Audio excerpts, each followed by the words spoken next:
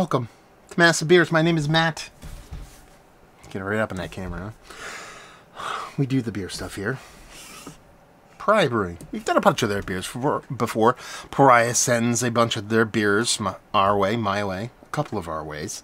And this is their in, intermittent, yeah, I butchered that, but we'll get past it. Availability. Uh, yeah, this is a hazy IPA coming in at 7.7%. And I'm excited to dive into this sucker. How long has it been since I broke out that, that bulbous round one, man? It's like, why don't I use these anymore? That's all I used to use. Now we're using them, so there you go. Um, like I said, this comes courtesy of Pariah. Let's do a little bit of story time in the back. We'll read through it as best we can. It says here, what you're holding is a Pariah IPA loaded with gills, loaded with gills with Precious Galaxy Citra and Amarillo hops. This beer began its life as a small draft only release back in 2018. It was the first time we can get our hands on Galaxy. We are thankful to now have a steady supply of this. Reminds us to appreciate the amazing raw materials we get to work with on a daily basis. The result is an elevated mash up of our dank drink malt bill and hopping schedule adjacent to tasty taste. Um, in the glass, it pours a rich orange hue with notes of tangerine, mango, underripe pineapple, and whispers of dankness. Enjoy. Enjoy an IPA glass. This is my IPA glass. No practice is sacred. Hmm. Baltimore, Maryland. They used to have San Diego in there. They moved to Baltimore. Let's see what's what. Yeah. Excited. We'll get a date after we give this pour. Take a peek at the bottom. Label-wise, this is, you know, not one of the more creative labels of they done. Let's put it that way. I like it because it reminds me of a Yankee jersey, the pinstripes and everything. And this was canned.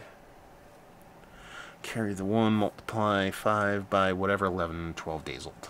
Um, so yeah, not the most bestest, but you always get the Pariah logo, which is basically purple rain lettering from Prince. So yeah, we win. Um, that is dark. Dark in an oxidation kind of dark kind of way. I don't know if the, the best way to get this on camera, you're probably not going to be able to see it. Because right there, it probably looks like a rich old hazy. Once I bring it up there, you're like, okay, I'm not getting any light on it. But it has this kind of muddled, kind of like I might have seen a bit of oxygen thing going on. It could be the case. Could be just a rich, dense, turbid monster. Piggy finger. Um, just kind of cream colored, off-white colored head to it. Let's get nose.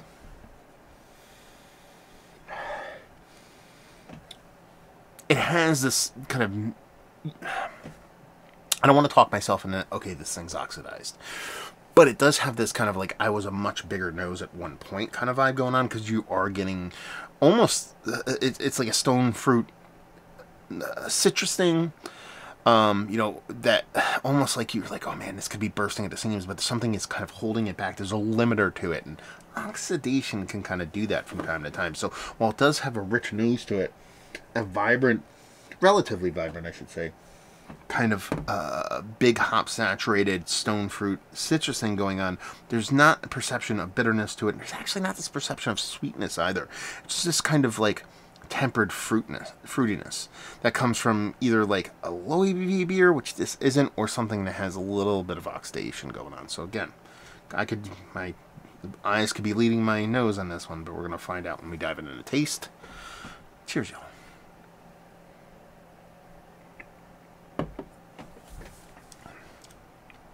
Yeah, I think that's the case. It's not like some big, huge swath of teabaggy cardboardness you're drinking, but you get all the bits and pieces of what should be a really sultry, rich double IPA. You know, 7.7, that's double IPA for me. Mouth feels electric. And, a, in um, it's not like electric, like zapping you and then it's super soft and rich and turbid. That's one of the things that oxidation typically kind of kills. But it's a little bit further down the line, more often not for me when it comes to the time that something has been percolating in there with that negative oxygen. So the mouthfeel still is really nice here. And you do get that rich no, yeah, it's a pineapple, but it's more like now because of lack of sweetness. It's definitely more a grapefruit pineapple, gra- grapefruit first, kind of pithiness with this nice kind of rich citrus, a little bit of orange. It's always going to be there, and that kind of pineapple thing. But there lacks this kind of just richness. And again, I keep going back to that word, this kind of vibrance to it. Same thing on the stone fruit side of things, you're getting these peachiness, you're getting this nice nectarininess, but again, it's lacking that sweetness. It's almost like an over ripened, under sweetness, which kind of doesn't make sense, but it has a softness to it, but it just lacks that sweetness that you get with that ripeness, but it has that softness that gets you get with ripeness. Hopefully that makes sense to all y'all out there. This bitterness is probably just a skosh for most people, not for me. Too bitter for where this beer sits.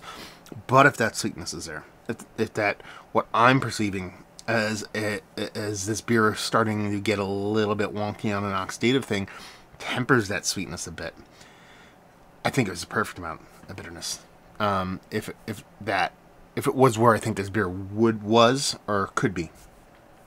A lot of guessing here, a lot of assumption here, but I think I'm I'm pretty right on this. We have a a canned on date of I already said it, what, 12 days. It hasn't been in here that long.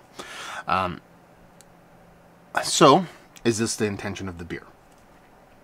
You kind of want to say yes because you know it's not, it hasn't spent that much time in a can. But negative oxygen is negative oxygen. That ha- can happen and does happen before the beer gets in uh, the beer gets in can and can be accelerated. You know, a lot of times, you know, keeping that's the key to a lot of these hazy IPAs is keeping that negative oxygen at bay through the whole brewing process, and that's what makes the or separates the greats from um, everybody else. And while Pariah typically is on point with that, I don't really remember having a ton of these kind of issues with their beers. Um, it can happen to anybody. And it's one of those things where it's not like, okay, they had negative oxygen in a can. Okay, that's really going to make the beer go sideways. It could be just a little bit in this process, a little bit of this process, and a little bit of that process the multiplication. Okay, in these little places, you have this thing going on, blah, blah, blah.